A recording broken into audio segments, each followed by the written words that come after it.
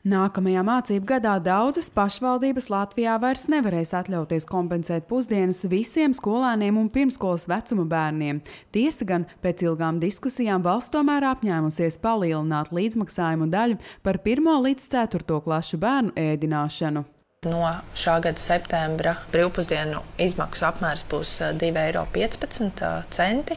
Joprojām solidāri to sedzot no valsts un pašvaldības puses, tātad 50% valsts, 50% pašvaldības. Uzņēmums, kurš nodarbojas ar skolēnu ēdināšanu un pārstāv arī izglītības iestāžu ēdinātāju asociāciju, RTV ziņām uzsver, par šiem līdzekļiem bērniem iespējams nodrošināt vien pašu minimālāko no veselīga un līdzsvarota uztura tā ir izdzīvošanas nauda. Tas, tas ir izdzīvošanas apmērs, un, un, un to sakam ne tikai mēs, to arī atbildīgās ministrijas un arī zemkopības ministrija ir veicot aprēķinus, ir, ir, ir, ir teikusi, jā, ka šis 2,15 tas ir tāds izdzīvošanas jautājums. Tas nav eiro 42, un jā, nu, vismaz jauno gadu mēs, mēs varam atsākt. Tikmēr iespējas katrā pašvaldībā atšķiras. Vietvars meklē katra savu pieeju, kā budžeta ietvaros kompensēt straujo cenu kāpumu un nodrošināt bērniem pilnvērtīgu uzturu. Aizkrauklas novadā RTV ziņām norāda, pirms reformas katrā pašvaldībā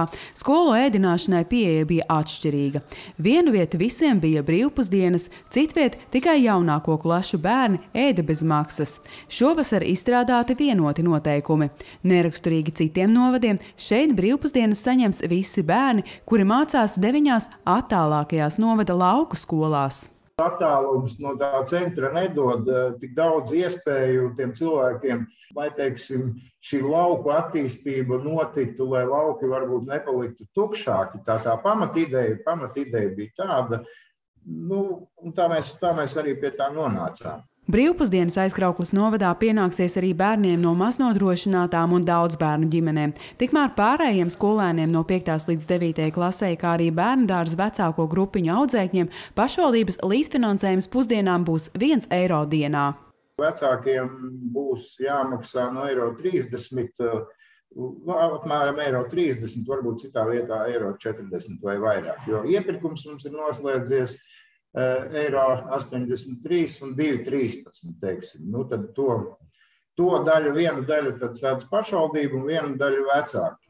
Arī Cēsu novadā pirms reformas krāsē atšķīrās pašvaldību noteikumi par brīvpusdienām, tāpēc, lai izstrādātu vienotu pieju, veikt arī vecāku aptauja. Jaunajā mācību gadā Cēsu novadā brīvpusdienas saņems 5 un 6 gadus veci bērni pirmskolā un 1 līdz 6 klašu audzēkņi. 5. un 8. klašu skolēni, eh, tie ir arī ļoti nu, svarīga mērķa grupa. Eh, tie ir bērni, kas vēl neskrien ārā uz veikaliem, tie ir bērni, kuriem ir svarīga šī eh, nu, siltā ēdienreize, jo viņi arī ļoti daudz nodarbojas interešu izglītības pulciņos, un kā vecāki atzīmē, tad šīs siltās pusdienas ir, kā, nu, varētu teikt, kā vienīgā mm, nu, pamatīgā ēdienreize viņiem dienā. Cēsu novadā iepirkums par skolu ēdināšanu vēl nav noslēdzies, bet pašvaldībā rēķina, ka 7. līdz 9. klašu skolēnu vecākiem par pusdienām dienā būs jāpiemaksā vidēji 1 eiro. Otru pusi seks pašvaldība. Savukārt Līvānu novadā brīvpusdienas nodrošinās visiem skolēniem sākot no 1. līdz pat 12. klasē, bet Rīgā brīvpusdienas visiem skolēniem plānots nodrošināt 1 septembrī.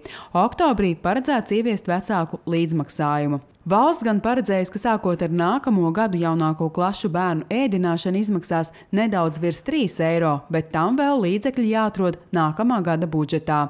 Laura Jansona, RTV.